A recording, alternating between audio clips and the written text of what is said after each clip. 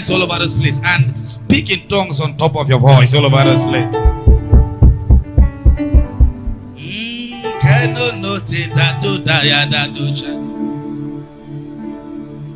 God, you don't need me, but somehow you want me. Oh, how you love me. Somehow that frees me.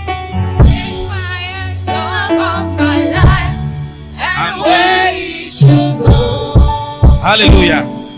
That's what we're going to be doing this morning. We are going to be putting everything in God's hand.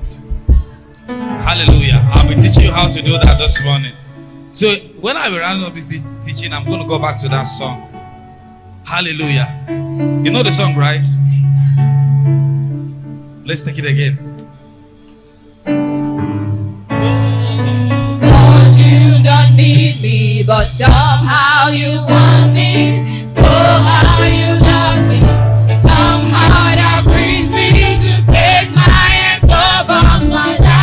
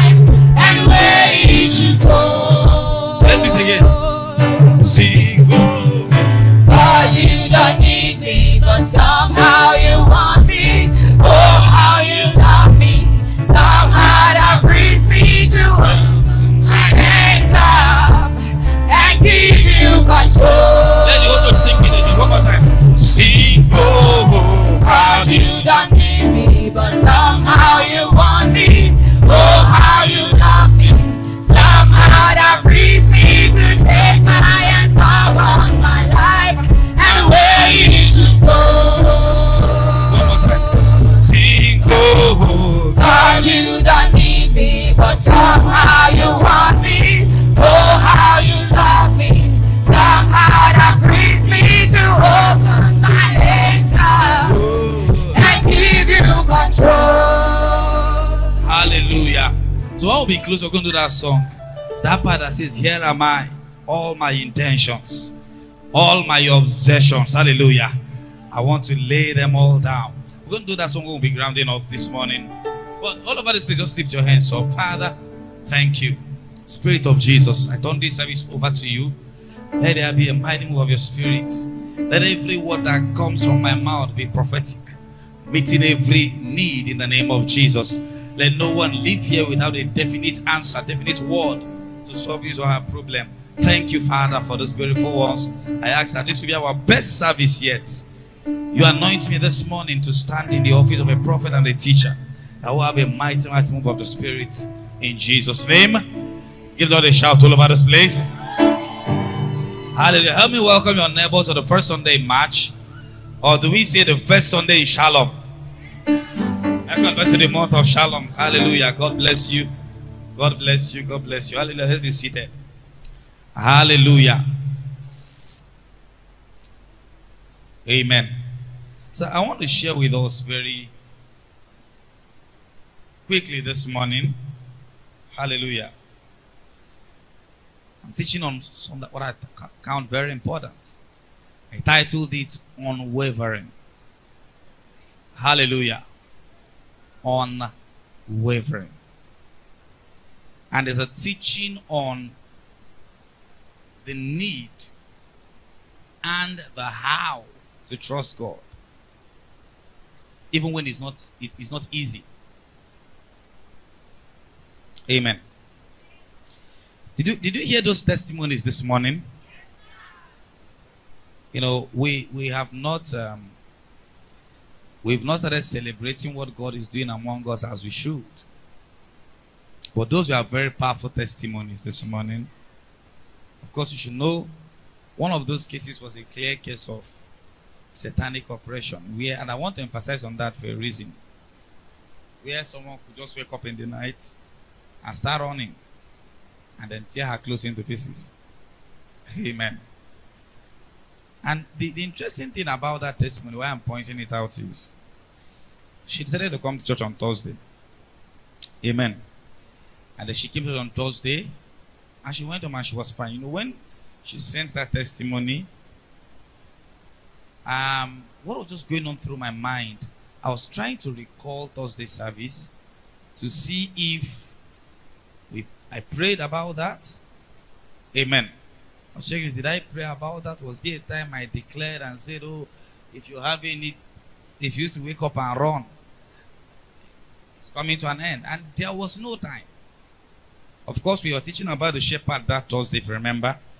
Of course, I know I say things about how shepherd keeps us safe and all that, but I can't remember praying about that. But then, right in that service, because it was high expectation, it was met. You know, one thing you should realize is that whenever we come to church, something is happening.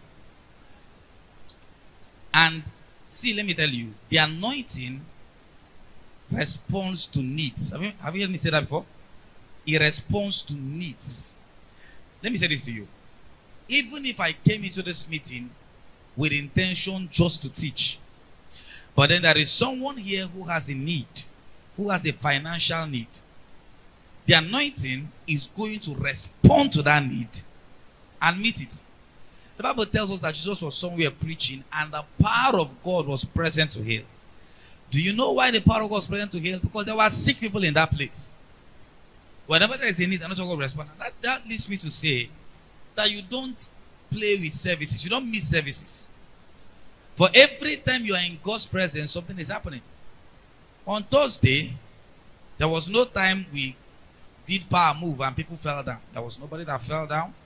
There was no time we prayed and said, Oh, so the power of God moved. And but then she went home and she was fine. Things happen in church, whether you know it or not. And that's why when you come to church, you must keep your full focus. Are you following me? Keep your focus and get the best out of it. This morning, I'm teaching on unwavering. Hallelujah. It's an instruction that God gave me, and I'm going to challenge you throughout this month to trust God. These are familiar grounds, but you know, anytime I begin to teach on what you might call familiar grounds, what I've taught again and again, I tell you what you should do. You should pay extra attention. Are you getting me? You know, in Philippians chapter 3 and verse 1, Paul wrote to the Philippian church. He told them that to write, said, Rejoice again, I say, rejoice. He said, To write the same things to you. He said, To me, indeed, it's not grievous. In other words, he's saying, What I'm about to share with you in this letter is not something you've not heard before. He said, It's not even grievous to me. I'm not feeling bad. I'm not feeling like a bad pastor for sharing the same things with you. Now, he made an, the next statement. He said, For you, it is what? It is what? Safe. So it is safe for a pastor to repeat himself again and again. Hallelujah. And so this morning I'm going to go through these lines again, but I would like you to know once I begin to repeat myself, you should expect that you will hear things you've not heard them before. So I'm teaching on, I'm going to challenge you to trust God today. Teaching on trust and unwavering, to have that unwavering trust in God. In Proverbs chapter 3 and verse 5. Proverbs 3 and verse 5. He said, Trust in the Lord with all thy heart. Trust in the Lord with all thy heart. Lean not on your own understanding. Verse 6 In all your ways acknowledge him and shall direct thy paths. So we are commanded, we are instructed to trust God. To trust God is to depend and rely on him completely. To trust him is to rely, to depend on him completely. It is to acknowledge him as the source and the sustainer of all things. That's what it means to trust God. And I'd like you to know that it's a culture that we must cultivate. You know, I was talking to the leaders on Monday, and I told them something. Was it this last Monday? I told them when we read the Bible to the passerby, he can treat it as, you know, as Pastor was preaching, he advised us to do this. To the member in church, he should treat it as Pastor instructed us to do this.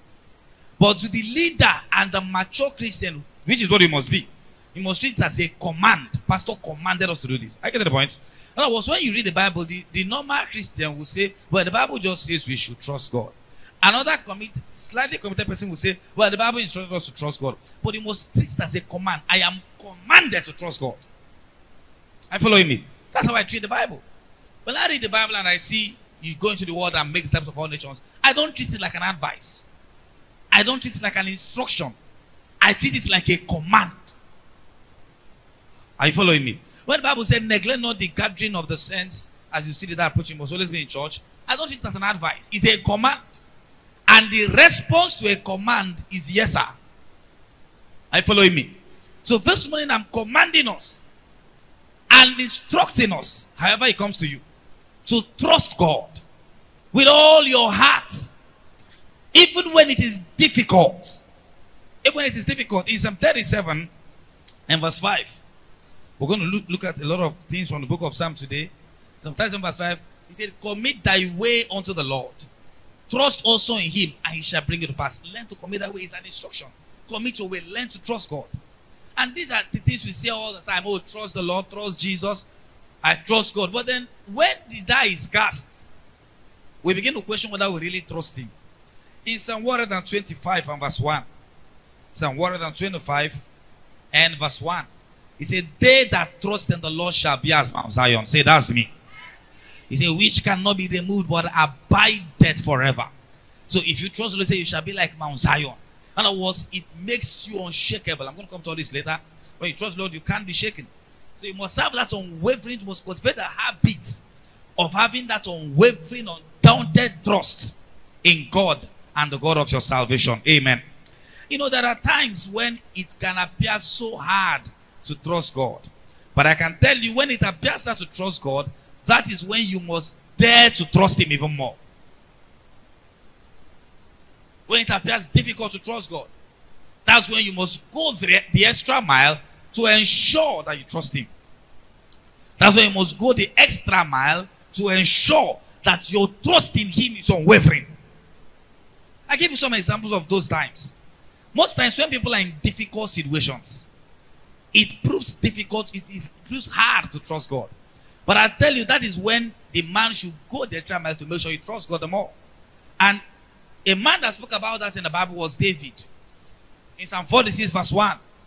He tells us of how hard it can be to trust God in difficult times, but then how he has decided that no matter the troubles around him, that's when he will try to trust God more. Look at the screen.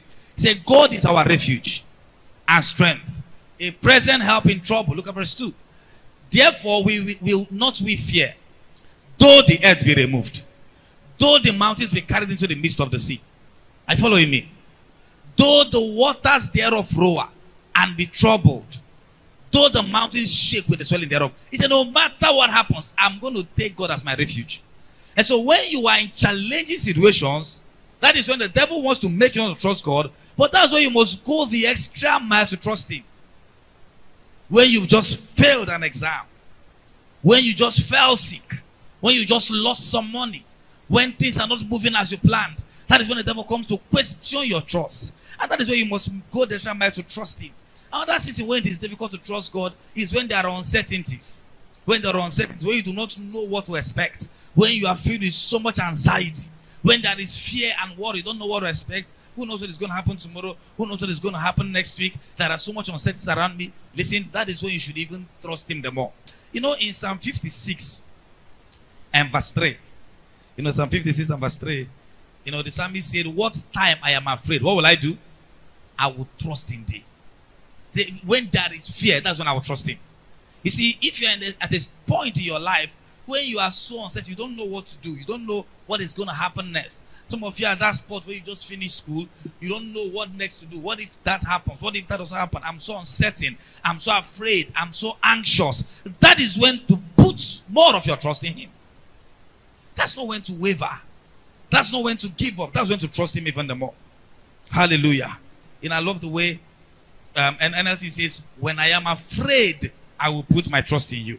When I am afraid, I'll put my trust in you. Hallelujah. Amplify said, What time I am afraid, I will have confidence in and put my trust and reliance in you.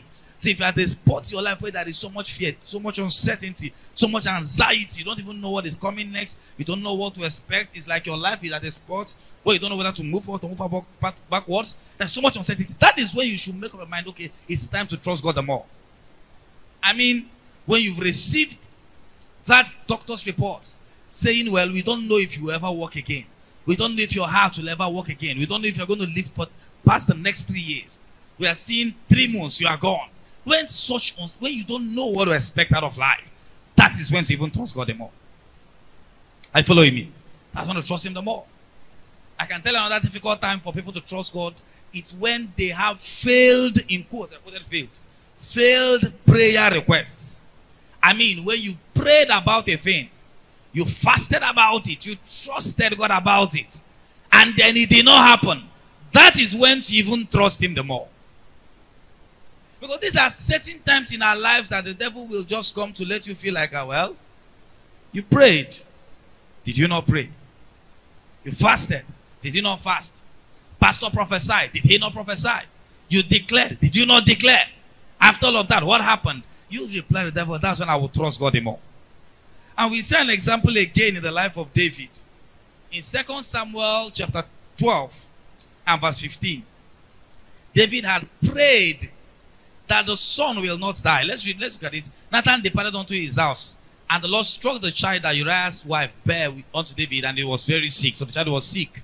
David therefore besought God for the child, and David fasted. So what did he do? He fasted, amen. So he was praying, he fasted, and went in and lay all night upon the earth. So the man prayed all night. And the elders of his house arose and went to him to raise him up from the earth, but he would not. Neither did he eat bread with them. So he didn't get up, he didn't eat, he was praying. And he came to pass on the seventh day. How many times? How many days? How many days did he pray and fast? Seven days. On the seventh day, the child died. Hallelujah. Have you ever had what looks like a failed prayer? Prayer request. you know, after you have those things, then the next days you come to church and pastor is saying, Oh, God cannot fail. He cannot lie. You're just watching him as a Shade the you know, the servants of David feared to tell him that the child was dead. For they said, Behold, while the child was yet alive, we spake unto him, and he will not hearken unto our voice. How will he then vex himself? In other words, I'm thinking, this guy did not eat when the child was alive. If we now go tell him that the child is dead, he might just kill himself. So they were being careful not to tell him, okay? When David saw that the servant whispered, David perceived that the child was dead. Well, he will perceive, he was praying. Therefore, David said to his servants, Is the child dead? And they said, He is dead. Now, stay here. Go back to that verse. Now, if you were, what were you going to expect David to do? It's time to go and begin to ask God, Why? What kind of God are you? You know, these are challenging times. And I would like you to know that if you have had such situations, I have some explanations. I might. And I might not even have some explanations to you. But that's when to strengthen your trust in God. Are you following me? Because what the devil comes for when such things happen, he comes for your faith, he comes for your trust in God. Do you know the challenge, the problem with that? By the time maybe you're trusting God for 10 naira and then the 10 naira did not come as you expected, and you now give up, a bigger need is coming tomorrow where you have to trust God for a million. But because you've given up because you didn't get 10 naira, you've even lost the faith and the trust with which to expect the next thing that is coming. Are you following me this morning?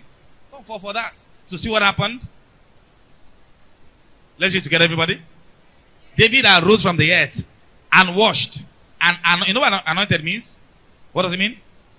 He rubbed cream. That's what it means. I've explained that to you, Abby. Uh, it's not everywhere you see anointed in the Bible that it means fire or it means power of God. He rubbed cream and changed his apparel and came into the house of the Lord and worshipped. Wow. You are praying for your child not to die, and then your child dies, you start worshiping. That's what I call unwavering trust. I get the point. Hallelujah. Then he came to his own house, and when he required that they said bread before him, he did it. So he ended the fast as they eat. Listen, eh, there, uh, there can be many reasons. If you read, have you read prayer first? There can be many reasons why you pray and you didn't see the answers to your prayer as you prayed them. A couple of reasons. I can't discuss all of them now. I won't even have time to discuss them. But get prayer first. The book is out there. It will answer your questions. So maybe, you know, sometimes we didn't pray right. Sometimes you know, God has taken. And, you know, you, how do you expect that woman to see God? So God came, saw people that had three children, people that had five children, and came and took her only child. That's not an answer to give to, to people that have lost their loved ones.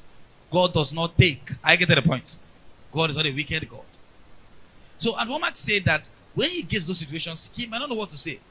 He will just tell them, Madam, I, I don't know why your child died. I don't know why this happened. I don't even have an explanation, and I cannot even claim that I understand how you feel. You know, we say those things to make people feel good. Sometimes you really don't understand how they feel. Are you getting the point? I can't claim I understand how you feel, but I know one thing. I know that God is good. I know that God loves you. And I know that somehow He's going to make things right. That's a comforting answer. I get to the point. It's not come as that saying, ah, God has given, or maybe it's because your father sinned, that's why he, he died, or that is because you guys did not pray enough. That's not the time for all of that. So David stood up and ate. He went, the first thing that challenged me in these verses, he went and worshipped. That you're worshiping who? A God you've been praying to for seven days, and then your child finally dies, and then the first thing you do is go to say, Father, thank you. It's called unwavering trust. Are you following me this morning? And that's the point you need to get. Some of us are so driven and moved by our experiences. Oh, we believe that God is good because He has provided a house for us. And when there is no car, we believe that God is now wicked. You must have that trust in God. Now, see the next verse. Next verse. He, he ate. Then said the servants unto him, What, what thing is this that thou hast done? Thou didst fast and weep for the child while it was alive. When the child was dead, thou didst rise and eat bread. Okay, and he said, While the child was still alive, I fasted and wept. I said, Who can tell whether God will be gracious to me that the child may live? Okay, but now he's dead. Therefore, should I fast? Can I bring him back again? Now, there are some things, I don't think I have time to explain this, but you see one of David's confidence, why he didn't cry so much. I shall go to him, but he shall not return to me. It seems David was so sure of where the child went to. And not so much that he will go to where the child has gone to. Are you guys following me? He said, I am sure I will go to him one of these days. Well, let's continue. Verse 24. Now that's why Paul will tell us that we should not mourn like men that have no hope. If we know where the dead has gone to, we are so sure that saved is enough comfort. Now David comforted Bathsheba, his wife, and went in unto her and lay with her, and she bare a son. So immediately after that, she bare a son, and he called his name Solomon, and the Lord loved him. Verse 25, I'm going to stop there. And he sent by the hand of Nathan the prophet, he called his name Jedidiah because of the Lord. So look at the next person that now came was Solomon, who finally became the heir to David's throne. Now, what I'm saying is sometimes when there are failed prayer requests in quote, the devil wants to keep you down, wants to keep you in despair. What you don't realize is that there is something else that is coming that is better than what was lost. And that's not the time to stay down. That's the time to put in the extra work to trust God. To trust God even more. Another, you know, and we should know that another difficult time, still related to this, to trust God, is when there are dashed hopes, dashed expectations. You're expecting. Sometimes it's just very close to the breakthrough, and all your hope was dashed. Has it ever happened to you? You know, you're expecting that this was this is the final, you're even rejoicing already. And then I, somebody was telling me of how he was expecting some money. The people already said they will pay. He has already sent account number. He has even gone to price a car. I'm telling you, he's going to price a car that he's going to buy after everything. And the next morning he was not calling them. Amen. Someone was in my, in my office last week and was just, just with me how that some people already wanted to buy a property he wanted to sell. He, they already agreed. The price was fixed. I think the price was fixed at around 5 million or so. And then suddenly, they now came the day they wanted to make payments and said, We are no longer paying 5 million. They began to offer something very low. When there are dashed hopes and expectations, Satan wants to make you feel, Why are you even trusting God again? But can I challenge you? That is when to even trust Him the more. That's when to trust Him the more.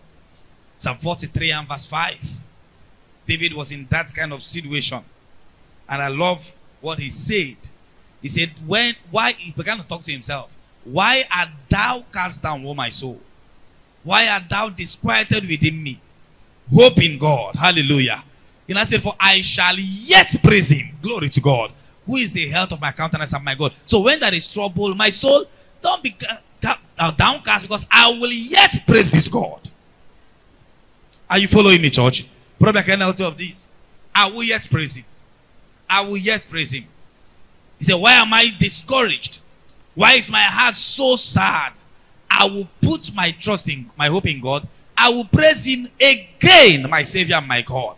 You know, when there are dashed hopes, it's time to praise God again. Are you following me this morning? When there are dashed hopes, what do you do again? You praise again.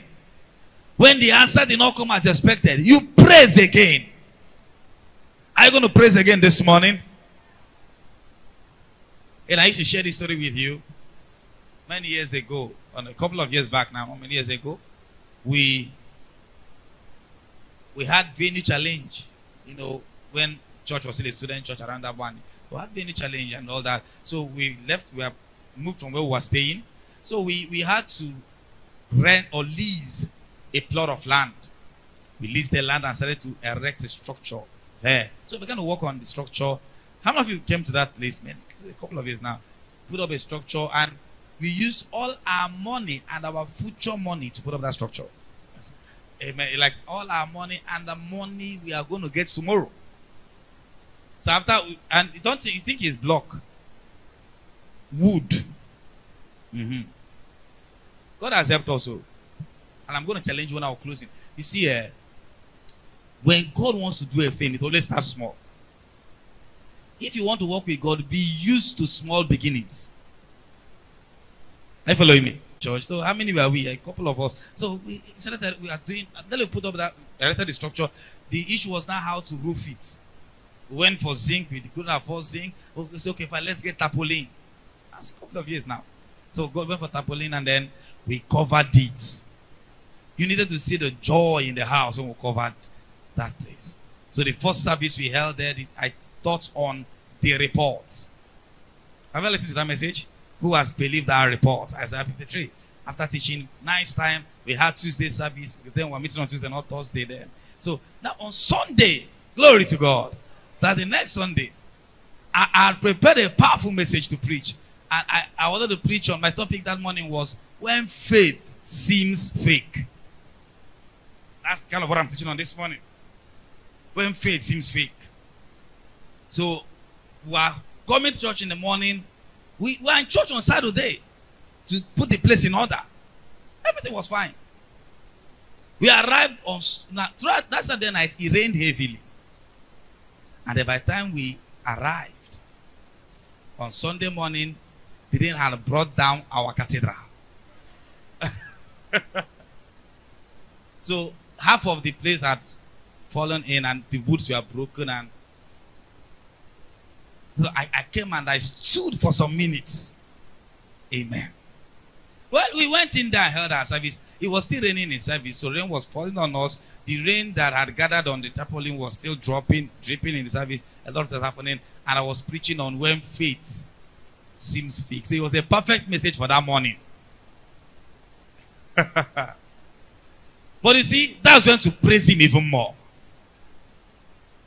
That's not when to just begin to, you know, a pastor shared a story of how, how in a way that started a church leading, needed money to buy instruments, they have instruments. And finally, uh, they did his father's burial, and then people came to, you know, con- condolence, condolence, and all that, gathered money. So he used all that money to buy sound for their church, buy gen, bought gen, bought sound, and all that. Glory to God. And they brought it to the church. Before the next Sunday service, they stole it.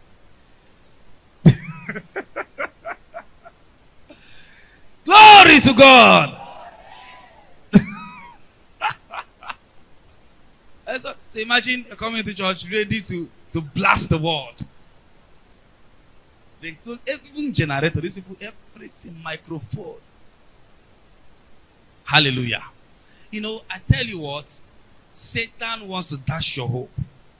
When he dashes your hope, he wants to steal your praise. David said, I will yet praise him. Are you following me? Pray like amplified of this verse. I will yet praise him. Bad things should not happen. We pray they shouldn't happen. But when we expect and we do not get what we expected, that's going to even praise him much more. There can be many reasons When we get to a teaching like that. I'm going to explain to you many reasons. When I teach on prayer specifically, I can give you many reasons why, many wrong things we do that bring about some of these uh, hopes being dashed and all that. But before you begin to consider what you did wrong or what you didn't do wrong, it's time to yet praise Him. Are you church this morning? Why you cast down all my inner self? Why should you mourn over me and, and be disquieted within me? Hope in God. Hallelujah. And wait expectantly for him, for I shall yet praise him, who is the help of my sad countenance and my God. So you praise him. So when there are dashed hopes, we are tempted to stop trusting. Make it. We remind I can stand.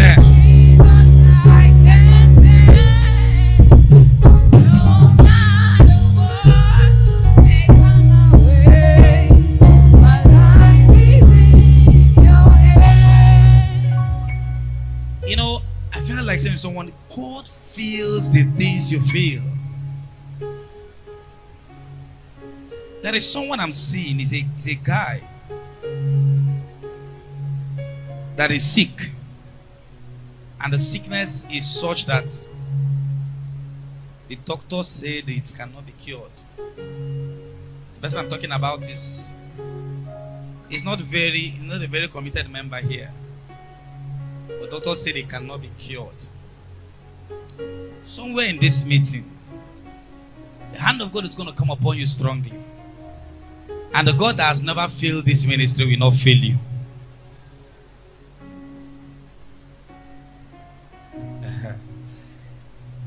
and I'm seeing the person again. If the Lord permits me, I'm going to point the person when the time comes. If the Lord permits me, because I've already spotted the person in this in this service. Let's sing it again. I know that I can make it. Come on, sing.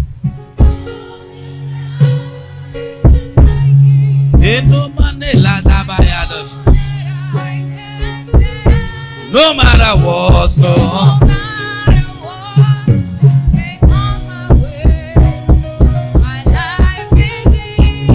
With Jesus, I can make it. With Jesus, with Him, I know I can stand. No matter what.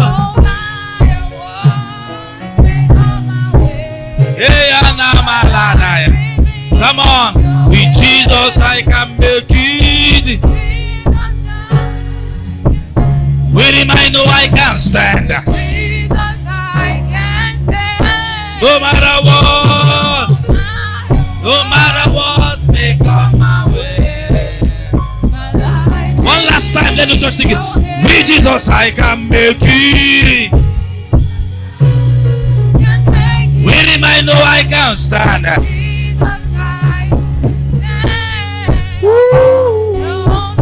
Nema no la.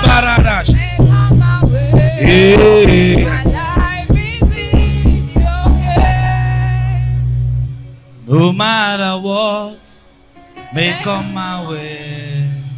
My life is in your hands. Sit for a moment. Just stay prayed up. The atmosphere of this meeting just changed.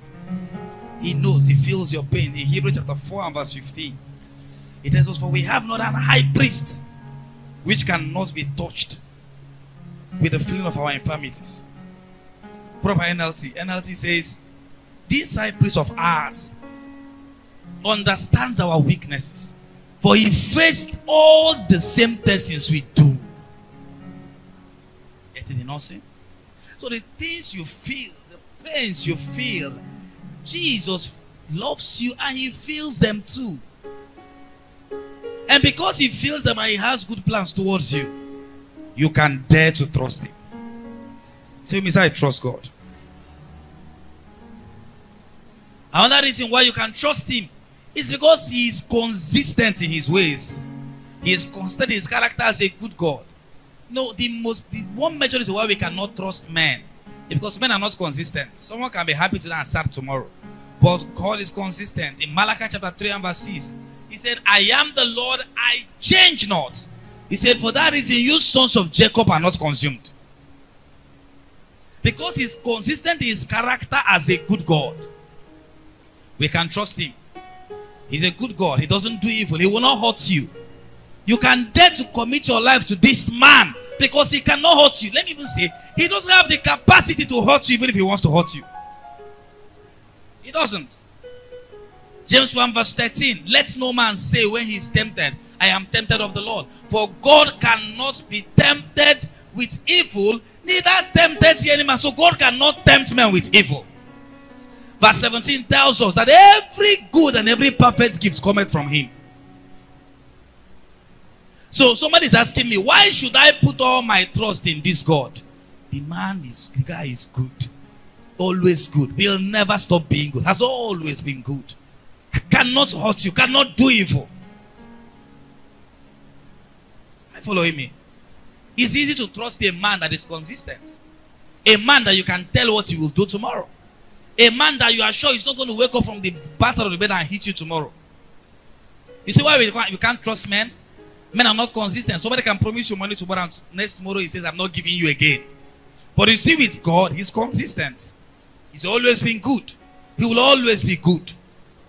What he does for A, he will do for B. What he will not do for B, he will not do for any man. And that's how he is. Consistent in all, in all his ways. Good to a fault in all his ways. So because we serve a consistently good God, we can dare to trust him. Number three, we can trust him because he has integrity. His word has never failed. His word can never fail. When he speaks a thing, that which he has said must come to pass. That which he has said cannot fail and will not fail. Woo! Thank you, Holy Ghost. What he has promised you will never fail. What he has said to you will never fail. He can take time, but he will not fail. He will not go back on his word.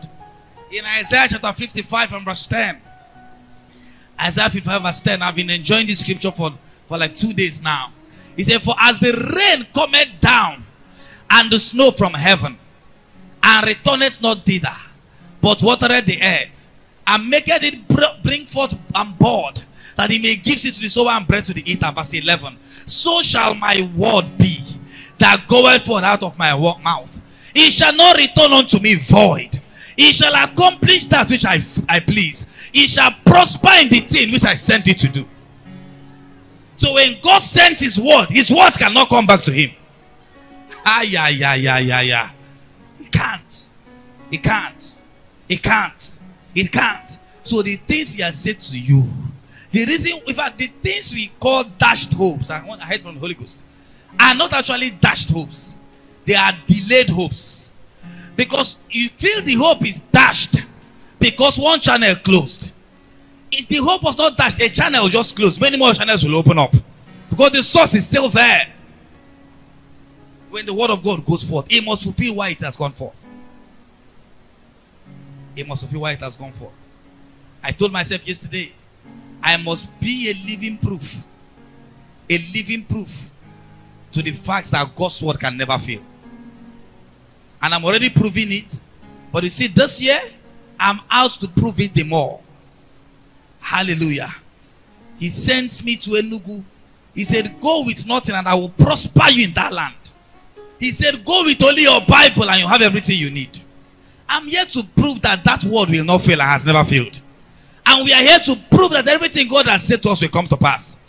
Now, because the man has integrity, he has fidelity, you can trust him. Are you following me, church? Why do I have that unwavering trust in him no matter how long it takes? This man, his words do not fail. Who is following me this morning? His words, a man that his words can never fail. Why should I doubt him? Hebrew 10, verse 23. You know, God was teaching me about trust recently. And one of the things he told me, he said, Why do we find it difficult to trust God? Who we know. Even though we claim we know little about him. But then we trust men that we don't know. How do you know you trust men that you don't know? Has ever flown on, on an airplane here? Let me see your hand. Let me see your hand. Yeah. Now, the day you were about to fly, have you, have you the pilot that flew you or that flew the plane? that, did, you, did, did you see him? Do you know him? Some of the, some of the airlines will announce his name, right? Are you sure he graduated from from aviation school? What if he escaped? He just what if he was a dropout? Okay, you if you ever entered a boarded a vehicle from Enugu to, to wherever, how are you sure that driver does not have a problem? How are you sure he even knows how to drive? Are you sure he does not have Parkinson's disease? That is driving. Are you sure? But you just go and pay and then trust your entire life in the hands of a man you've never seen. Are you following me, church? A man you've never seen from anywhere. No, that some of them after you enter, you just see the man. Once the man just move the car, you start praying, Father, in the name of no. Those days when I used when I, I was using public transport, this man they live in it was in the night around eight. Just uh, the only thing I noticed was I wasn't seeing front. The car doesn't have light. The man is an old man, he's not seeing well. So once a car flashes light, we park for the car to pass. And I spoke to the Lord that day, said, Lord, if only you can take me to where I'm going to.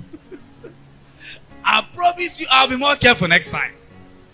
You know, but the point is we put our faith in men that we have never seen. Why is it now difficult to put all our lives in a God that we know that his word has never failed? A God we know his character, that he's a good God. A God we know his capacity, that when he says the thing must come to pass. He said, Let us hold fast the profession of our faith without wavering. That's why I got this topic from unwavering. Without wavering, for he is faithful that promised. Hallelujah. Can I say to somebody, God is faithful that has promised?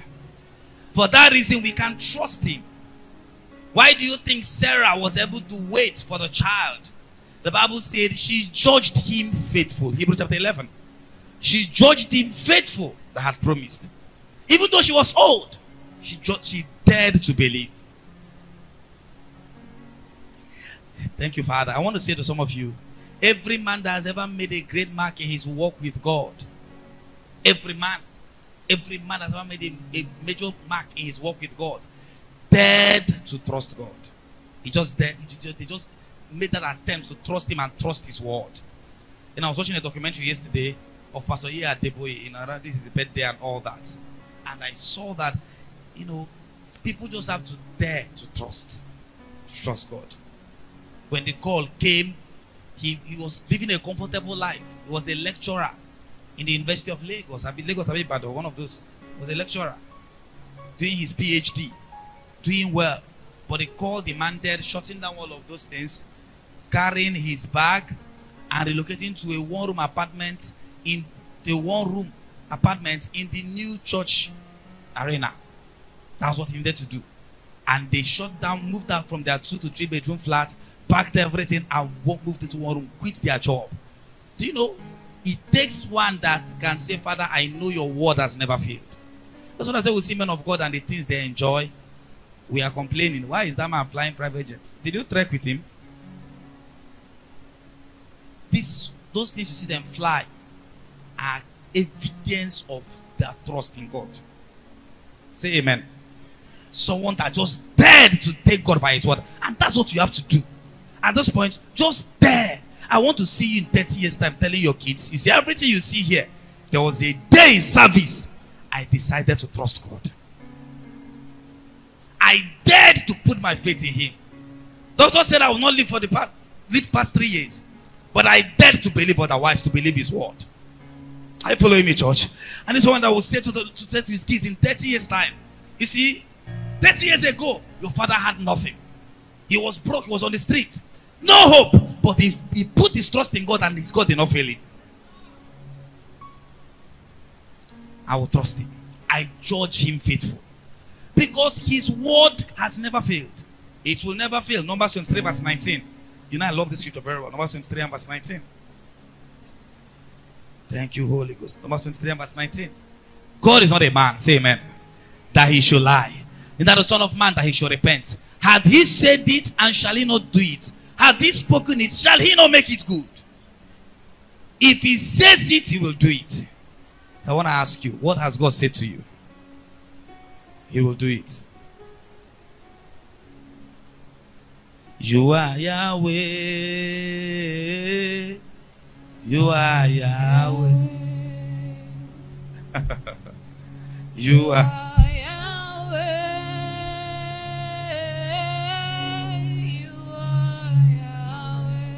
Say you are Yahweh. You are. Yahweh, Alpha and Omega.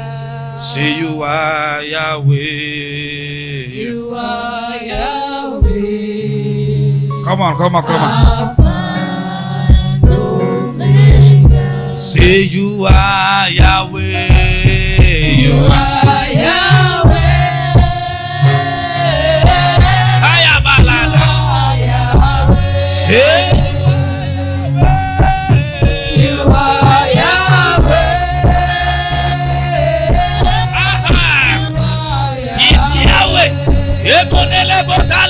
Botale madola bayana.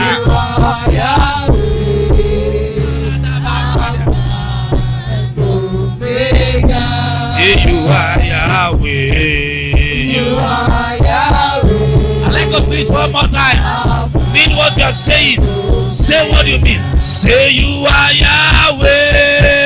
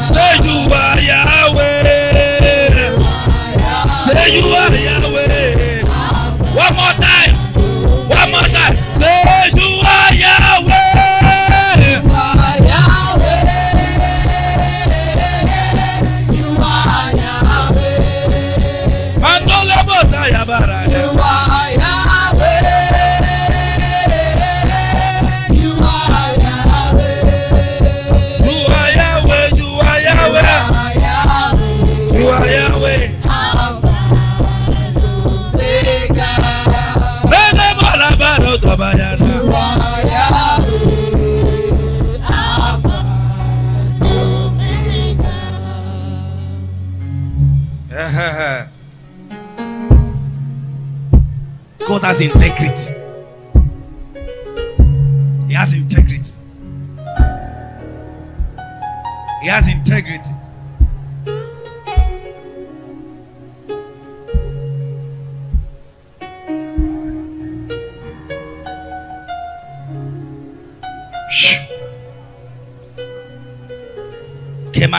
Just take three minutes and pray. Let me allow you.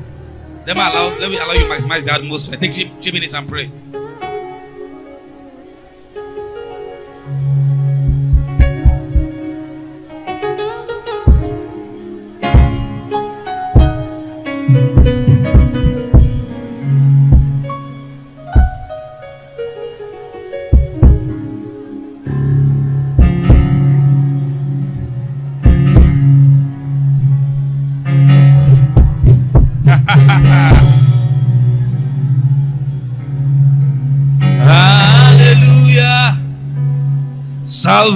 And glory,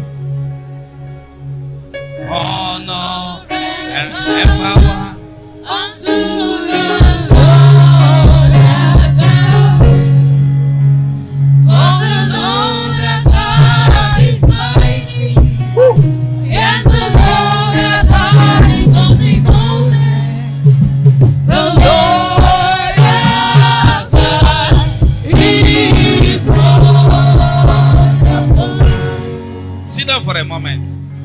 We're coming back shortly. Just go now. You're going back very shortly. We're going to pray like in 15 minutes. I just want to, I just want to finish what I have in mind over there. So he has integrity. He has integrity. He has integrity. He has integrity. Another reason why you can trust God It's because He sees ahead of us and He sees beyond what we can see.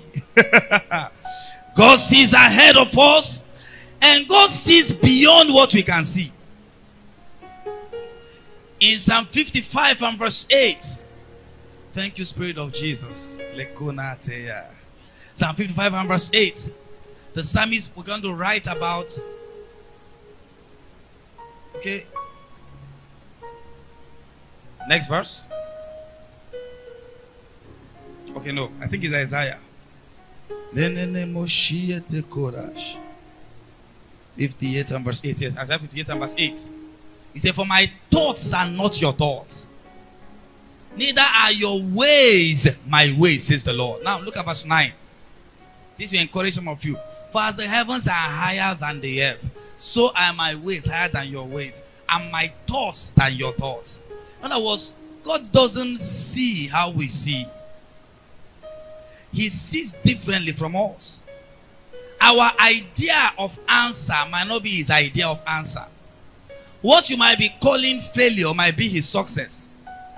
Everybody, please listen to me. Oh. What you might be calling delay might just be his process. Please follow me this morning. Most of them say, Ah, I just lost that. That might be a deliverance, but you don't know. I was supposed to get that job, but I lost it. And somebody is wailing and mourning in his or her room. What he doesn't know is that that job was meant to be her end. what she doesn't know is that there is someone Satan has positioned strategically in that office to mess her life up. So by her losing the job was God delivering her. My ways are not your ways. I follow me this morning. That's why I can trust him. That's why I can trust him. And I've seen this happen again and again. When something is happening, it looks like, ah, we lost everything. God was just delivering. Can I give an example? Joseph. They threw the man to Egypt. Imagine you are Joseph. You just had a dream. That's I told you God cannot fail. What is the dream? God has promised you, be a great man. Two times you saw the first dream. Your corn was standing, other corns were bowing down to it. Your own agbado was standing. Other agbado was bowing down to your agbado. Number two, you saw another dream where, you know, even the stars and all that were bowing down to you. And then shortly after that dream, what follows? You are sold into slavery. And to think that things you are getting, you know, it, looks if you are getting better. They put you to the house of Potiphar. You became the leader. I said, oh, Father, thank you, Jesus. I'm now in Potiphar's house. Oh, you did it. Maybe this is how you do it. And suddenly, they accused you falsely. He had an option to accept the, the compromise of Satan. Remember that? That compromise was Potiphar's wife. If you sleep with me, everything, this life will be soft. He rejected it. Went into prison. If you are Joseph in prison, and then maybe from prison they allowed you to attend platform of grace. And when you came, pastor was saying, God does not fail. He said, leave that in. 14 years ago, he promised you that he'll make me a king. Look at where I am in prison. Now so that they become king. But his ways are not our ways. They are higher than our ways. Right there in that prison, two men had a dream or had dreams. He interpreted the dreams to them. Told the other one, Your own dream means they will kill you. Now, told the other person, Your own dreams mean, dream means that very soon Pharaoh is going to exalt you. He now pleaded with the guy. Satan's compromise again. Please, once they exalt you, remember me your kingdom. And the man, it happened just as Joseph said. Guess what? The man left and they remember him. Who's following me this morning? The man just left and forgot him. So imagine you are Joseph. Just i like you to take the next few seconds and put yourself in Joseph's shoe. From God promising you and assuring you that you'll be great, to you becoming a slave, to you entering prison, to everybody that was meant to help you forsaking you and running away from you, turning their backs on you. But your faith must be in God. Joseph did not know that all that was part of the process. Some of the things you're crying about are not really disappointments, they're part of the process. Who is following what I'm saying? There was a time in this ministry, church, that we didn't have anything. We are not, we are not even plenty. we are just very small. That lasted for some time. But you know, it is part of the process that made us stronger. That made me stronger.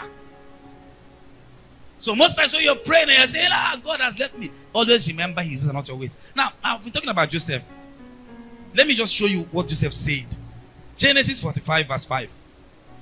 After everything has happened, when things were now better, Joseph now made a statement to his brothers. Look at this.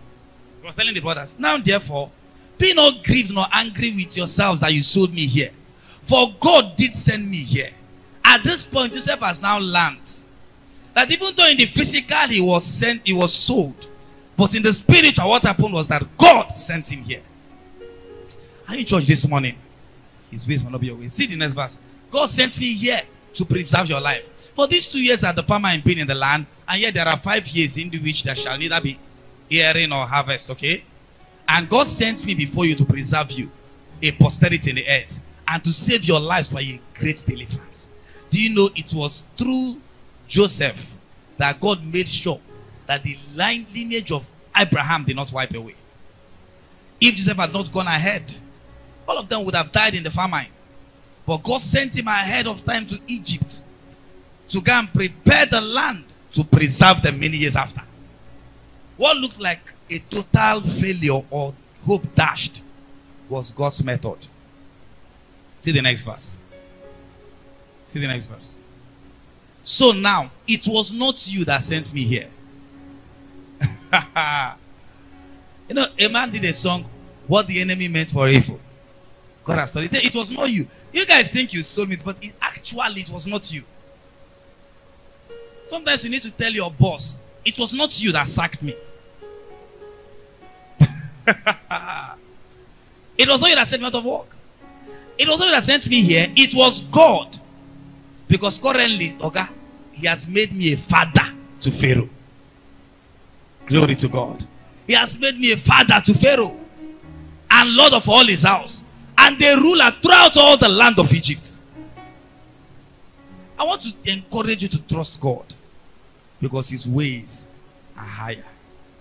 Do you now understand why Paul said in 1 Corinthians 2 and verse 8, had the prince of this world known, they would not have crucified the Lord of glory.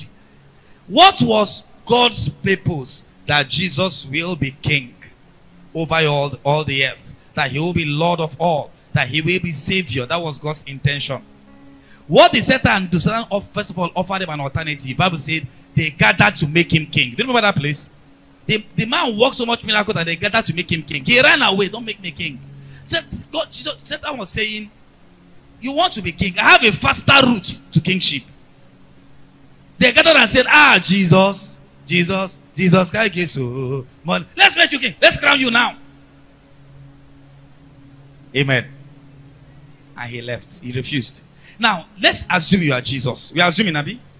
When God was sending, He told you you are going to be king. You are going to be great. And then 33 years later, you're on your way to the cross. They've beat Shege, come off your eye. That's why I tell some of you that it is actually possible that what is happening in Nigeria today is part of God's process for bringing our answer to us. Are you getting me? So sometimes when people break their head, it's because they don't understand God. The man went to the cross. Imagine when he was hanging on the cross. If you had gone to Satan and said, Satan, how are you feeling right now? He said, Yeah, I finally won. He thinks it's bad rubbish he was doing. When I was in heaven, the man sent me down. He, he, he's seeing it now. He's play, they play the show. Not be, not be joke. You can imagine the party that was going on in hell as he hung on the cross. Are you following me, church? The process does not always look like it. God said, My ways are higher than your ways. So as they were having the party, dancing, eating, Satan was calling for more demons. Bring more pepper soup. And then suddenly the man gave up the ghost and descended into hell.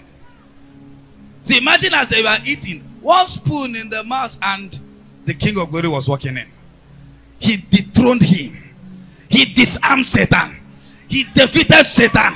He took the battle to him. He brought him down. He shut him up. And what Satan thought was victory was his loss. Can I say to you, don't cry. Sometimes this is part of the process. Are you following me? What you call delay might just be God's process. But his ways are higher than your ways. Think of some things you lost a couple of years ago and you cried and cried. Think of if you didn't lose those things. I, have you ever had anything like that? That you lost your time ago after crying, after two years saying, ah, thank God. Why was I even crying? My ways are not your ways, says the Lord. My ways are higher than your ways. My thoughts are higher than your thoughts. I don't see how you see. I don't perceive how you perceive. I don't interpret things how you interpret it. Someone needs to laugh in the storm. Someone needs to rejoice in the storm. Someone needs to scream in the storm. Someone needs to dance in the storm. Yeah. That's why Paul says, in everything, give thanks. In everything, give thanks. Why? What the devil thinks he's doing to hurt you I just feel, and, and I like using you guys' jokes and all that. I just feel God looking at the devil saying, They play. Just they play. You think you are winning, just be playing. It's all part of the process. Now, I'm not saying that when you have pain in your life, you should enjoy it. Pray, rebuke the devil, but never stop trusting God. The mess Satan is causing, God will turn it for good. what Satan doesn't know is that if he delays the blessing for whatever reason, in the process, I'm going to be getting stronger. So when I finally get the miracle, I got two things. I've gotten the miracle and I've learned how to be strong. So it's a win-win. They're not getting me this morning. And in fact, I have learned how to combat him better next time. Hallelujah. Oh, I'm getting stronger. I'm getting stronger. Can I give you one more? You can trust God because He's powerful. There is nothing He cannot do.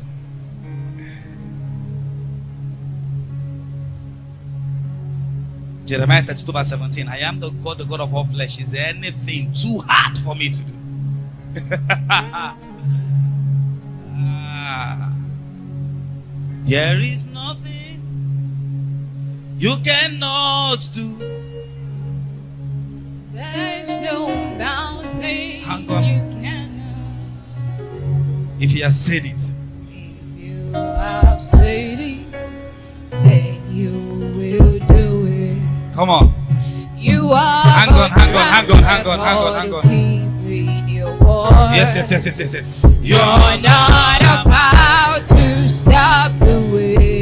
Hold on. Listen, I want to share a scripture. Job 26, verse 7. Because of our time, I want to really pray with you. So, because of our time, put up an LT. Please, everybody, watch this. God stretches the northern sky over empty space and hangs the earth on nothing. Continue. He wraps the rain in his thick clouds, and the clouds don't burst with the weight. Go and think about the scripture when you get home. He covers, come on, continue. He covers the face of the moon, shrouding it with his clouds. He created the horizon when he separated the waters. He set the boundary between day and night. The foundations of heaven trembled, they shudder at his rebuke. By his power, the sea grew calm. By his skill, he crushed the great sea monster. His spirit made the heavens beautiful. His power pierced the gliding serpents. I'll stop at 14. These are just the beginning of all that he does. Merely a whisper of his power. Everything you see in creation is just a whisper of God's power. I want you to think of how powerful God is. The sky is hanging, everything a whisper. And I say, who then can comprehend the thunder of his power? If that is a whisper of his power. When the thunder of his power now comes, do you know the thunder of his power has come?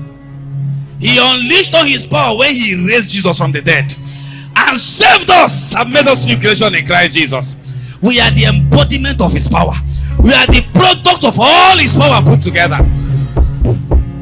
The man that gave us Jesus can heal the sick. The man that gave us Jesus can raise the dead. There is nothing he cannot do. We can trust him. I'll give you one last reason why I should trust God. Just one last one. Please write this and we'll start praying. He has a track record. He has a track record. During election seasons, we tell you to vote men that have track record, Abi. People that can tell you when I was a counselor, see what I did. When I was a chairman, see what I did. Now, before you trust anybody, you have to check the person's track record. Do I run you through God's track record? Do I run you through everything He has done? From Genesis 1, He gave Jesus. Abraham trusted Him, He didn't fail Abraham. David trusted Him, He didn't fail David. Men have trusted Him in the past, He didn't fail them. He has a track record of miracles. He has a track record of signs and wonders. He has a track record of never failing and keeping to his promise. He has a track record of, of always being right and always delivering. He has that track record. So why will it start changing when you came?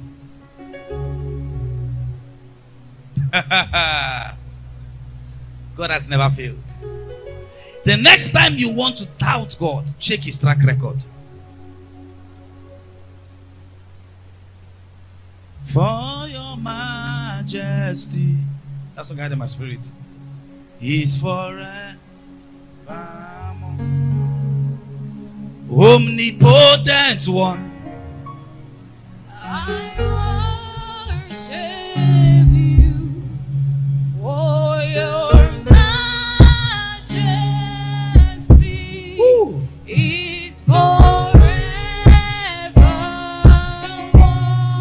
You know, when the Lord began to put in my heart to follow Him the way I'm doing, to give up everything and walk with Him, you know, one of the things I checked was His track record. I checked what He has done for men that did this same thing in the past. I saw Abraham leave your father's house and follow me to a land I will show you. He didn't fail him. I saw many people. Then I began to look at our generation. I saw men in the past. I saw T.L. Osborn. Him and his wife abandoned everything at 19 and went to India for the purpose of mission. I saw his life. God didn't fail him. I saw Reinhard Bonnke left everything and came to Lesotho, Africa, in Africa, to serve. And God gave him a blood-washed Africa. God didn't fail him. I saw men. I saw Yeneka. I saw Bishop Oyedepo. I saw Kenneth Copeland. I saw K.C. Price. K.C. Price. I saw all these men. If God did not fail all of them, am I a pot of beans? Ah. Let me tell you. When I tell you sometimes that I know what tomorrow will look like, I'm not wishing myself well. I know whom I have believed. Ah, yeah, yeah, yeah. I know who I trusted. I didn't trust a man. We have not believed cunningly devised fables. We've not believed the theories that men bring. We trusted a God that has never failed anybody. There is a track record that the man has. He promises he delivers. He binds himself with his word. His word is what he binds himself. So why why shouldn't I trust that kind of man? I don't know what I'm trusting God for. I want you to know. If I run you through God's track, just I don't have. I wanted to run you through some things. If I run you through God's track record, the man brought some people, about three million people, brought them before Red Sea, turned the Red Sea into two, and they passed. That is the man that said you should trust him. The man that said you should trust him brought them to the wilderness. There was nothing to eat. He opened the heavens and rained down manna, physical, fully, fully prepared food. And they gathered and they ate. And it was coming down every day. In fact, he gave them a warning. Don't pack manna that you eat tomorrow. Because if you pack it tomorrow, it will spoil by tomorrow. Because in my plan and my ordination is that every new day I have a new manner for you. That's the man that said you should trust him. The man that said you should trust him. When they needed meat, he ran down quails. You know what quails? He ran down meat. Meat. Not just man, meat and chicken. I, I like you to understand when God says, Trust me, put all your eggs in my basket. He knows what he says. The man said they should trust him. They needed water. From rock, he brought out water. Water began to flow. Not in the spirit, by the spirit, physically. That's the man said they should trust him. The man said they should trust him. Let three million people out of Egypt, and not one of them was sick. Throughout the time he was leading them. That man now says, Trust me with your health. Are you following me? The man that said they should trust him made them promises and kept those promises. Do you know that even after Bible days, Israel as a nation was scattered all over the world? Do you know this? There was no nation called Israel till around 1948. But in the Bible, God had promised through Isaiah that a nation shall be born in a day. That one day he will gather the whole of Israel together. And one day in 1948, because of a promise in the word of God, the whole of Israel came together and the nation was formed in one single day. Go read history. That is the man that said he should trust his words. If you know God, you will sleep. If you know God, you won't be worried. You can dare to trust Him. I don't know how things are looking now, but I'm not that one that will doubt God. He didn't fail my forefathers. I come from a generation of men that have proved God over and over again. My spiritual father has proven God again and again. Sent out a ministry with nothing. With nothing. God didn't fail him. You get the point? I am from that lineage. God does not fail us here. Are you getting me? I come from the generation of word of faith. Can't read about the word of faith, guys. I'm proudly word of faith. I just want to tell you. Proudly word of faith. Can't read about the word of faith, guys. Can't read about Kenneth E. Hagin. Read about Kenneth Copeland. Whatever you say about them is your business. Read about Kenneth Copeland. Read about Freddie K.C. Price. Read about Bill Winston. These men live their life about T.L. Osborn they live their life trusting God. They will tell you how to get your things is name it, claim it. And they sat down, started naming and claiming until all they named and they claimed became theirs. It's about Oral Roberts. Ah.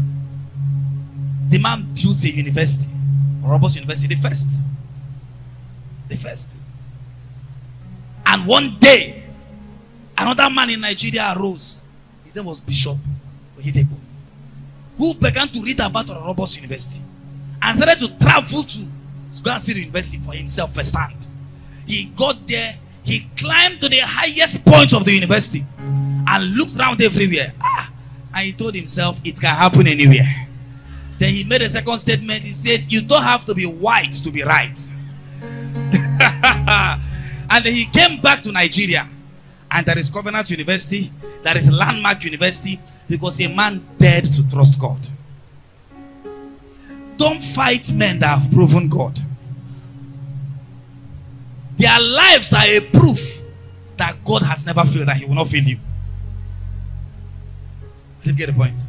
And I'm talking about men of God that are known. But I have some other guys that are, men that are not even pastors.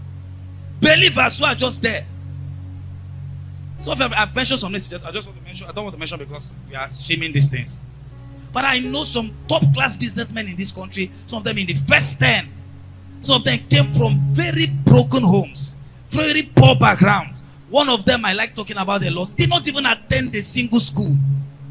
He went to do apprentice like his friends and came out.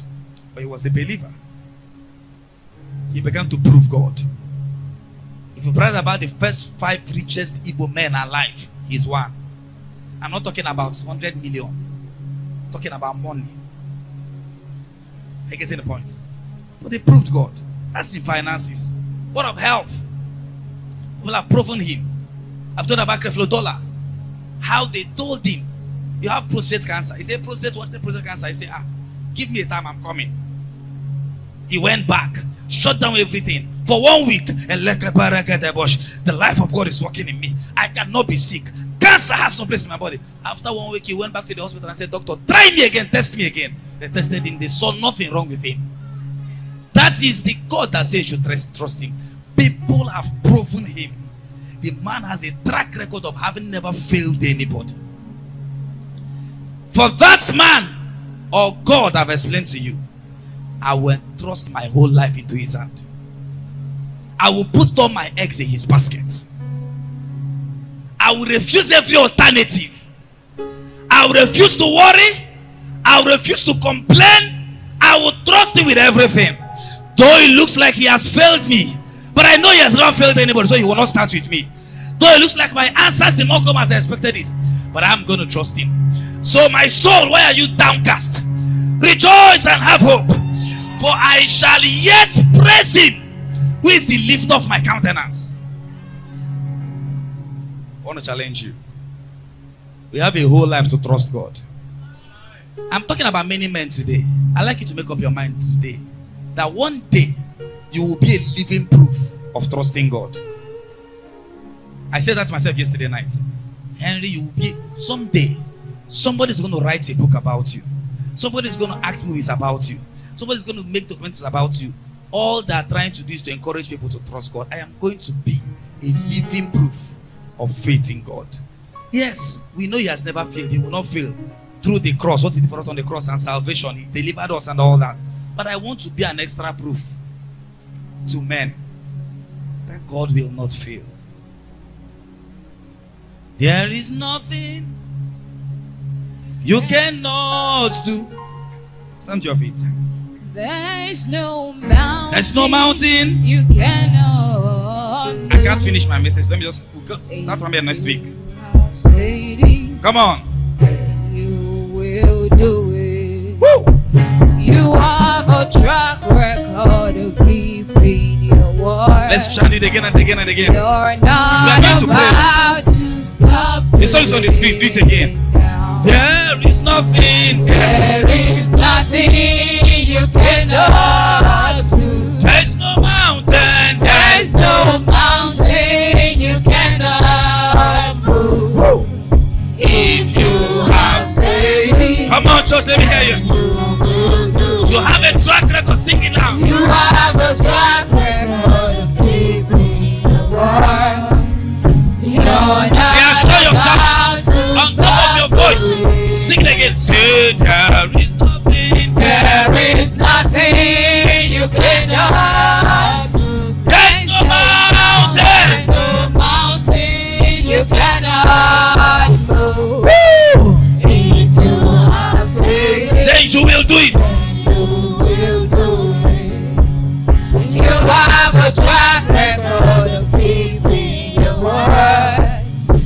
And you're about to Let us sing it. I want to hear your voice, everybody now.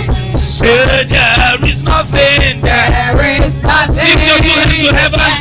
Sing it like you know what you're saying. Everybody, come on. There's no mountain you cannot move. If you have Then you Hey, Abarada will Bashanya. do. Eh, no more tell Abarada But you have a track record of keeping your word. Cause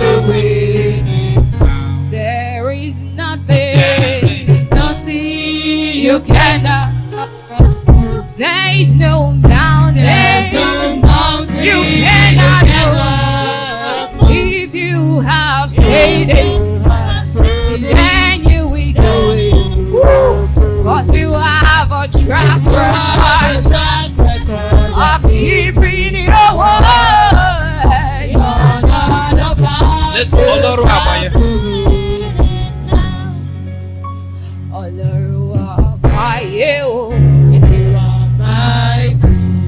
yes yes yes yes. ọlọ́run wà wáyé o. ìwọ máa dùn.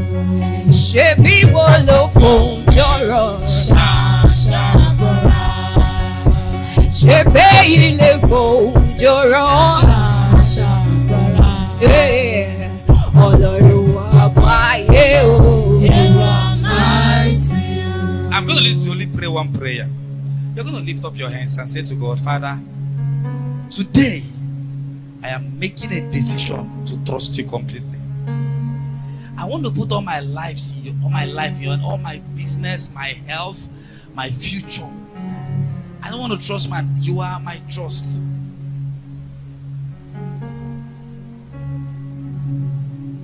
It's a prayer of dedication.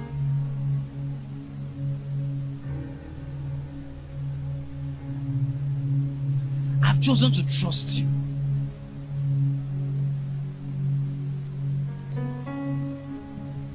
All my intentions, just pray. All my obsessions, I want to lay them all down in your hands. Only your love is vital. Though I'm not entitled, still you call me your child. Here I am. All my intentions, all my obsessions, I want to lay them all down in your hands. Only your love is vital. Though I'm not entitled, still you call me your child. And God, you don't need me, but somehow you want me. Oh, how you love me. Somehow don't freeze me to take my hands off of my life and where it should go.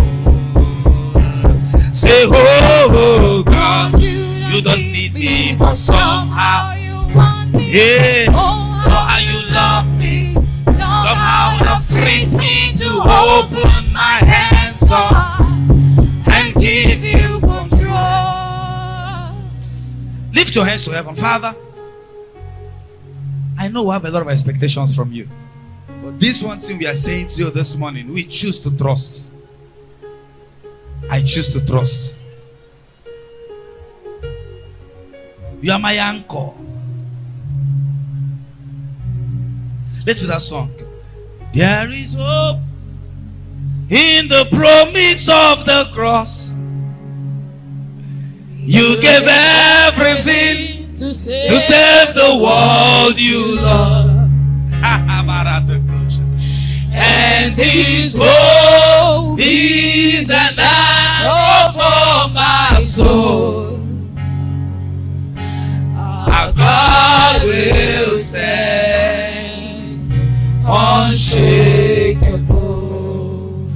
Our commitment. We put our faith in you, in the one that gave us Jesus. We put our faith in the one that loved us and loves us. Put our faith in the one that has never failed. We put our faith in the one that is all powerful. We put our faith in the one that has a track record of working miracles and never failing. We put all our faith and our confidence in you. We refuse to trust man. We refuse to trust our strength. We repent of places and times that we've not trusted you enough. And we offer ourselves to trust you again and again. We know you will deliver the answer. We know you will bring the job. We know you will bring the wealth. We will know you will bring the divine health you want. We know you will bring the supply we are looking for. We know you will bring the peace that we need. We know you will bring the relationships that we want.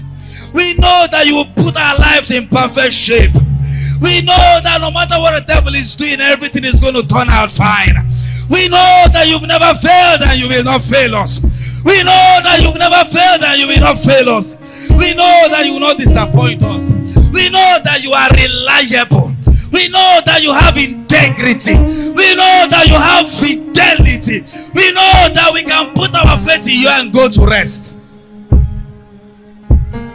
And for that reason, we put all our eggs in this basket. We put all our faith, all our trust, all our faith, all our hope in you. That no matter what happens, at the end of our lives, we will be living proofs of trusting you. We'll be living proofs of putting our faith in you. We'll be living proofs that you cannot fail. We'll be living proof that you always stay true to your word. We'll be living proof that there is really a God that you that will never fail. We'll be living proof to the fact that you heal all sicknesses. We'll be living proof to the fact that you provide the funds that we need. We'll be living proofs, oh, we'll be living proofs of the fact that you have never failed any man. We will to our children, God did not fail us. We will to our loved ones, God did not fail us. We'll be living proofs of, of, of your faithfulness. Bale Koradash.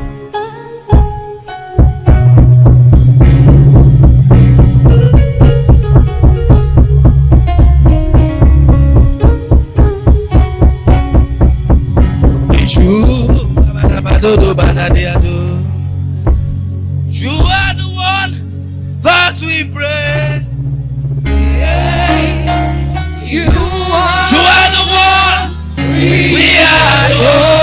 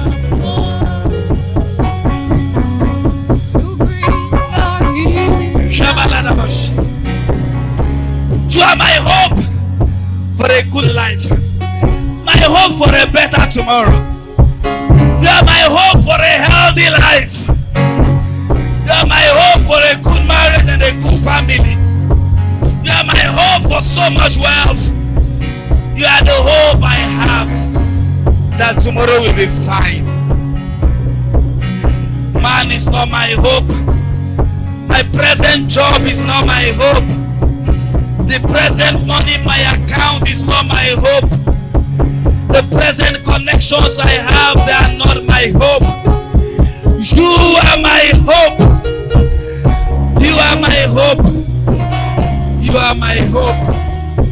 So I trust you. So I trust you. So I trust you. So I trust you.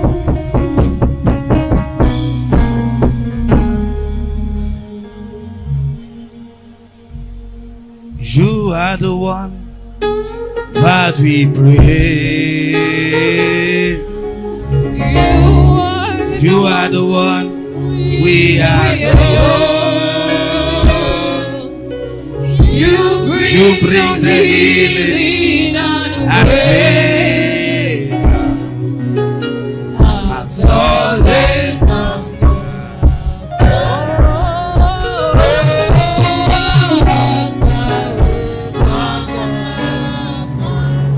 I sense heavy angelic activities here.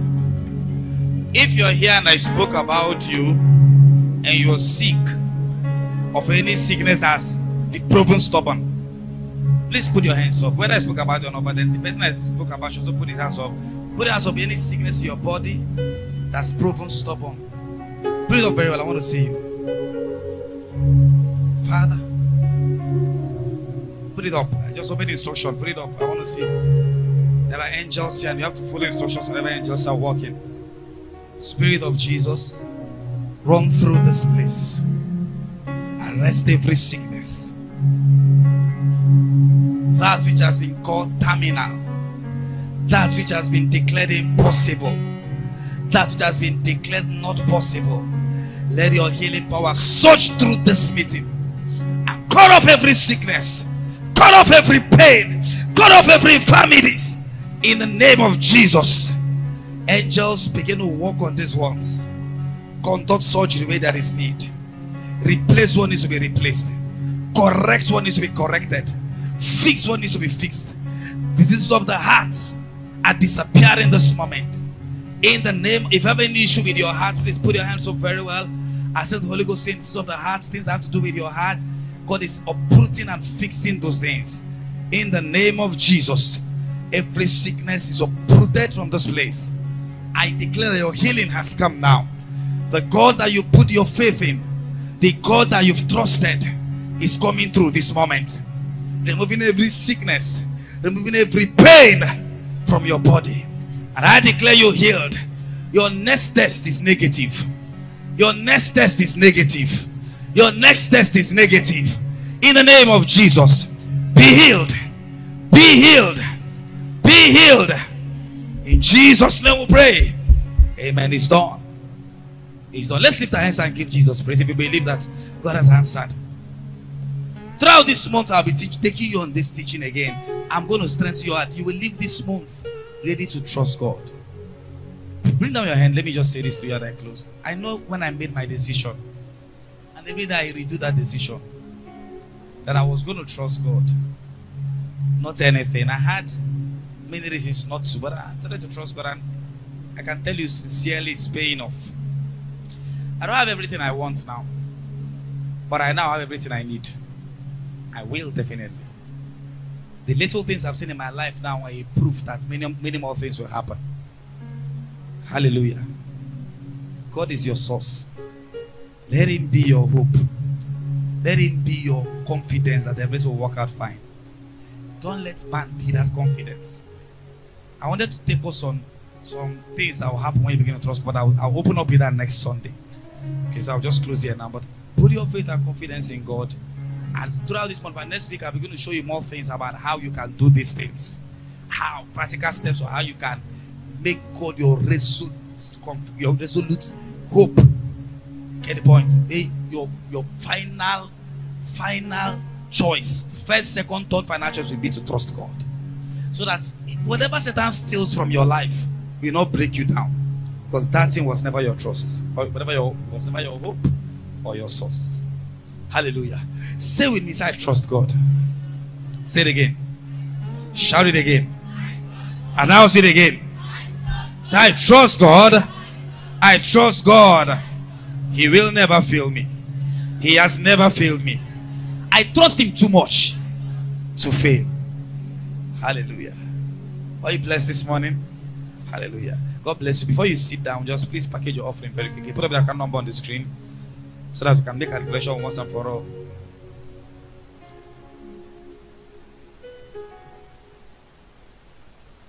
Omnipotent one. Just playing that song on the background. For your majesty.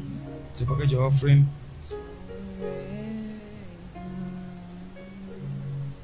Sing it again. Omnipotent one, Whoosh. I worship for your. So use the account number on the screen and give your offering. Do it again. Omnipotent one. Omnipotent one, Mm. I worship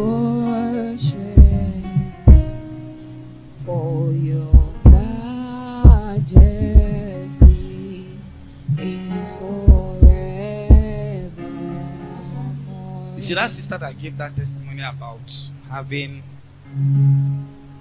some panic attacks at night, that stuff has ended forever. The Lord said I should say something about that. It will never return again. I mean, the particular demon responsible for that has been sent packing from now. In the name of Jesus. It will never return again. In Jesus' name. So have you sent your offering? Let's stand to our feet. Let's make some declaration. Put it up on the screen quickly. Are you ready? Everybody up your up, up your feet. Never give without releasing words. So once we give, it's an opportunity for us to release words. And I'm, I'm going to have us all declare it together from the screen. Are you ready? I'm speaking for me, you're speaking for me. So I'm not leading you to talk now. I'm just talking and talking. Let's go, everybody. I'm blessed. I have abundance. My debts are being cleared and they disappear totally. My needs are met at every point in my life. My supply is bigger than my needs. I always have what to give. I always have what to spend. I always have much more left over. Why? Because I'm blessed. I'm getting my houses. I'm getting my lands. I'm getting my cars. I'm getting my properties. Everything I need to do life in a godly way, they are mine. Because I'm blessed. Hallelujah. I'm lending to nations. I borrow from none. But the Lord my God has given me the power to make wealth. Hallelujah. So I'm blessed. I'm blessed. Say amen, somebody. You believe those words? So you are blessed. God bless you. Be seated as I'm giving you offering. I want to welcome you to church this morning. Now, thank you for coming. If this is your first time of joining us, we want to say thank you. We love the fact that you came. This is the Exalted Platform Church. This is a platform of grace in Ugu. We have a vision. Our vision as a church family is to raise a people who have knowledge of God's word, who flow in the things of the Spirit, and who are committed to ministry. So I want to thank you for joining us today. And uh, we really hope to see you next time. If it's your first time of joining us, we'll just take your name and your phone number to the service. Just, wait a little, just a few minutes, just your name and phone number.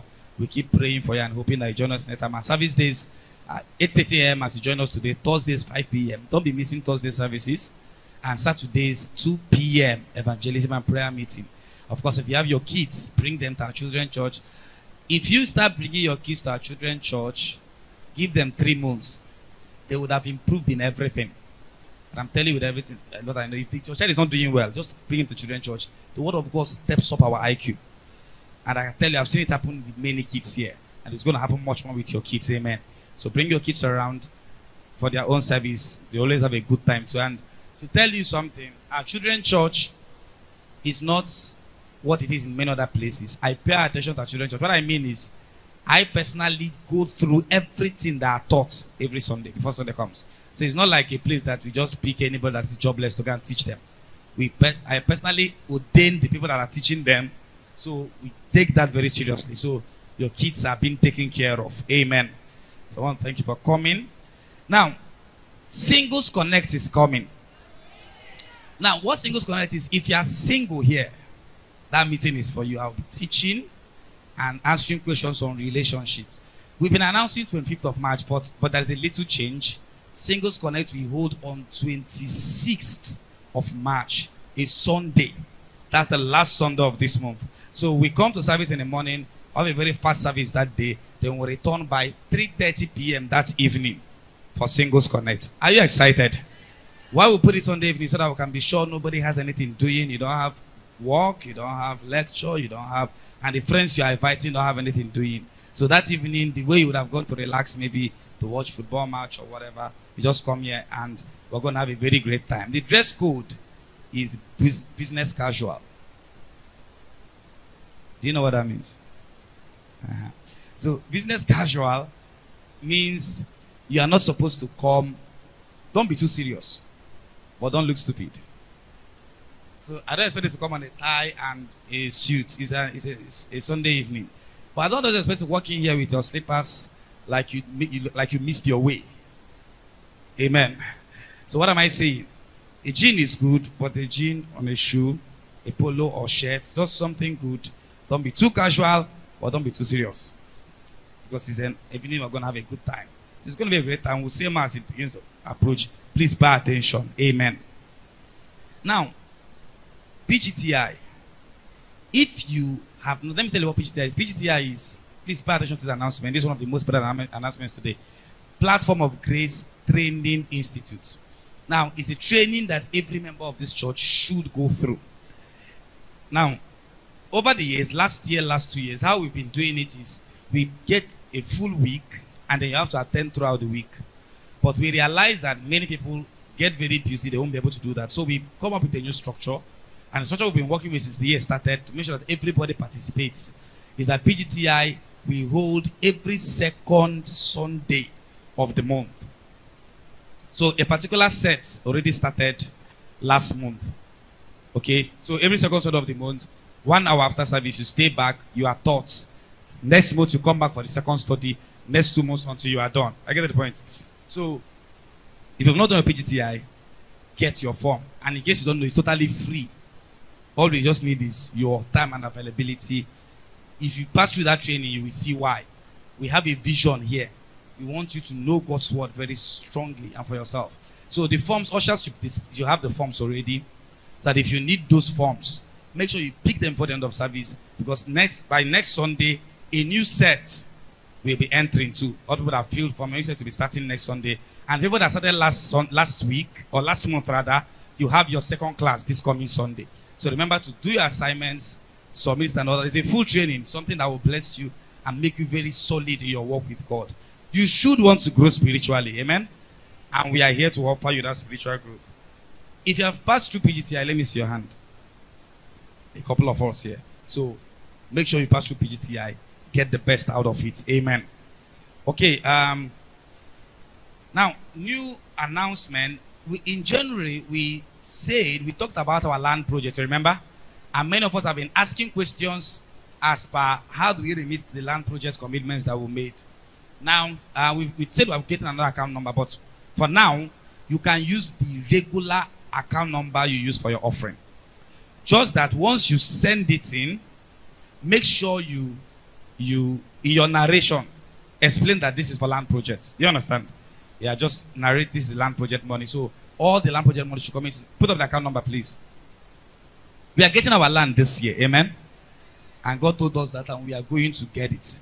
So we're getting our land this year. So the account number is the same. Some of us pledged heavy amounts of money. And I tell you, and it's, it's amazing because as at the end of January, many people were already calling to ask for the account number. And that was very exciting for me because it meant that God was already providing for you. Amen. And I tell you, this account number, if you pledge the million or 500k or whatever, you mustn't give it once. If you have your 100k, send it in. If you have your 200k, send it in till it is done.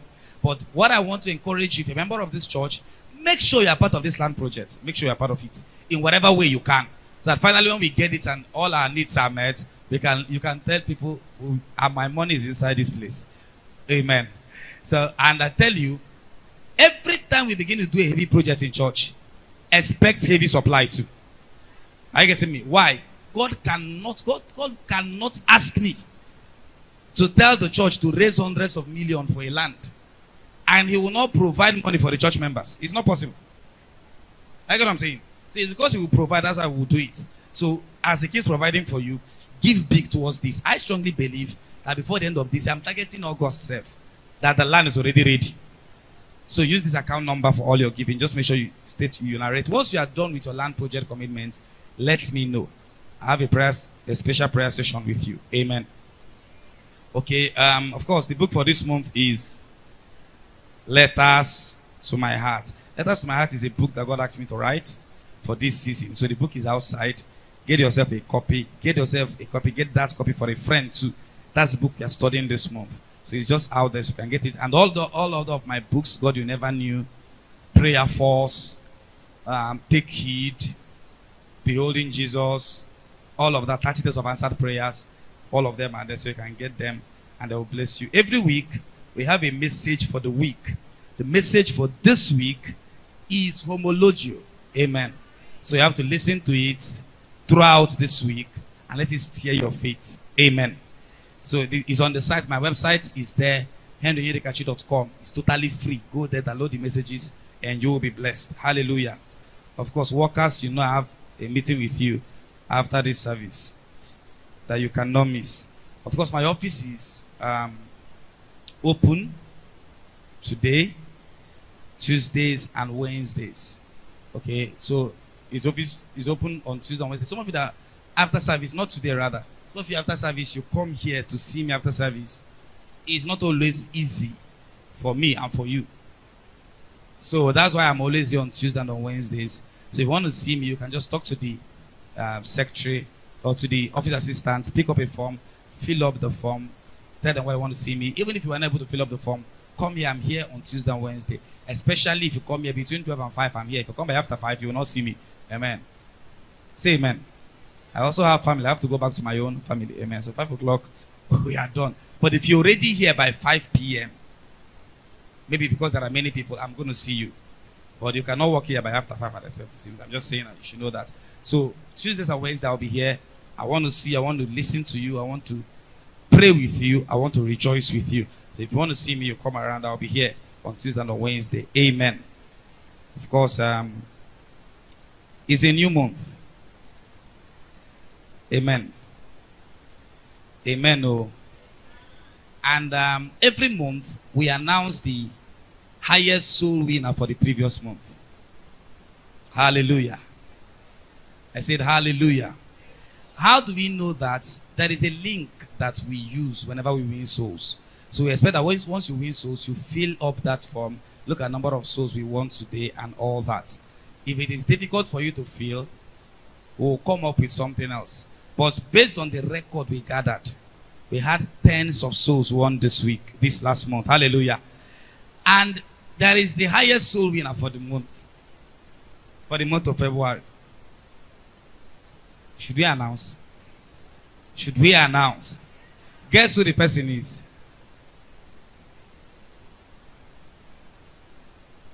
Amen.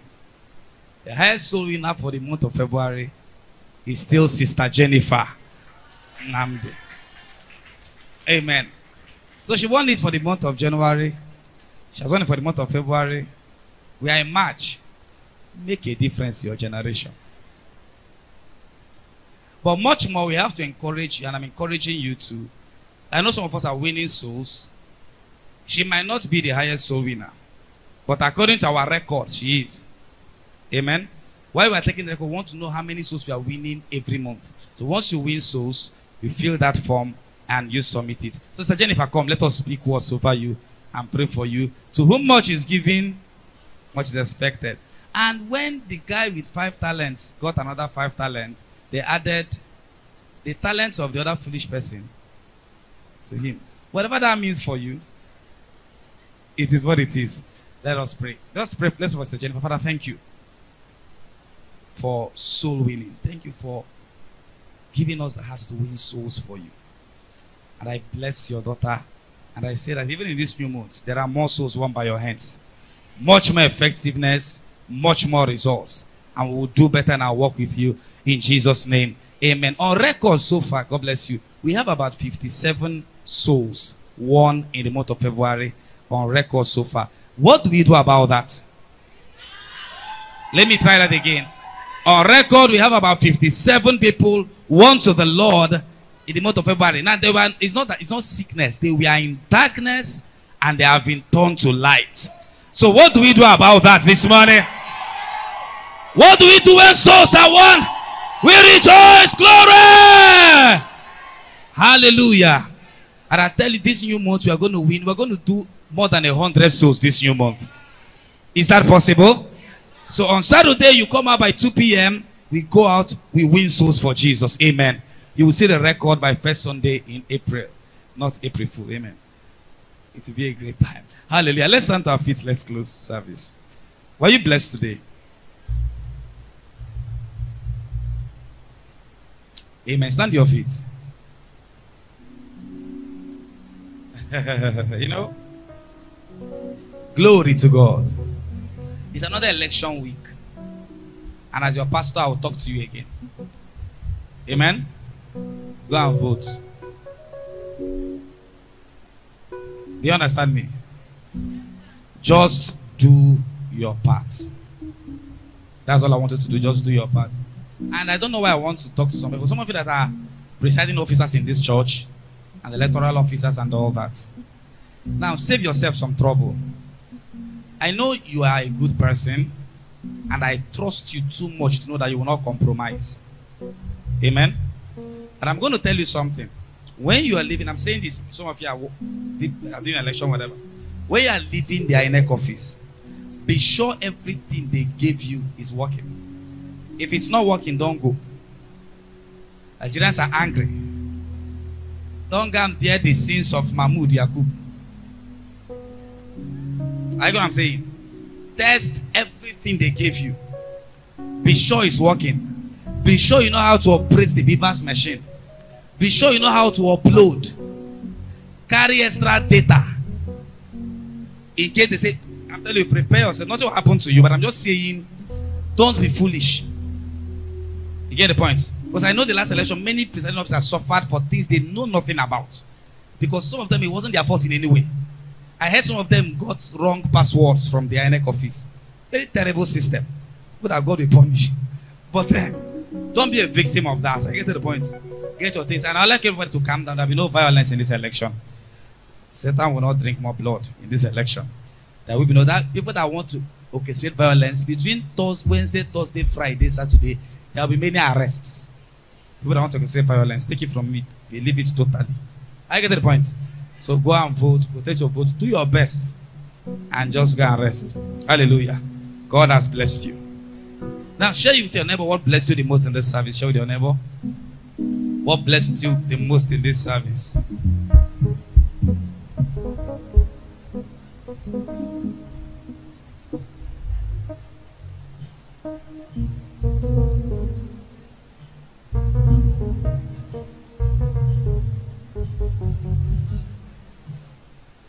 What's the person saying? What did you learn? What blessed you the most? Prove to the person you did not waste your time in service. You can introduce yourself to the person. This is my name. This is what I learned. This is what blessed me the most. Hallelujah. Grab your neighbor's hands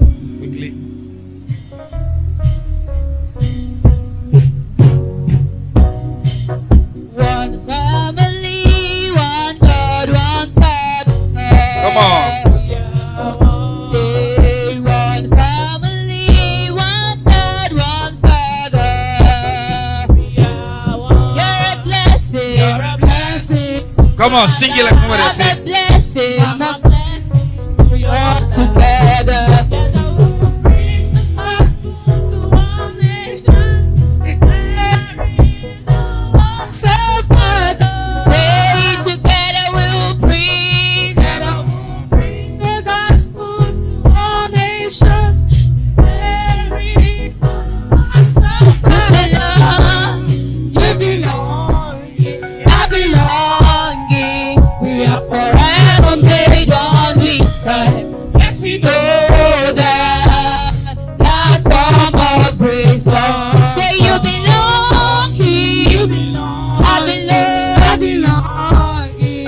We are forever made one with Christ. Yes, we know that that form of grace loves us all. Hallelujah. Glory to God. So, means I'm standing on the exalted platform. I am standing on the platform of God's grace. I have knowledge of the word. I flow in the things of the spirit. I am committed to ministry. I trust God. My hope is in God. He has never failed and he will not fail me. God bless you. Please love someone before you leave this meeting. I'll see you on Thursday. Say something beautiful to someone before you go. Thank you. The expression you guys are looking fine. We are wearing the same. We are wearing the same uniform.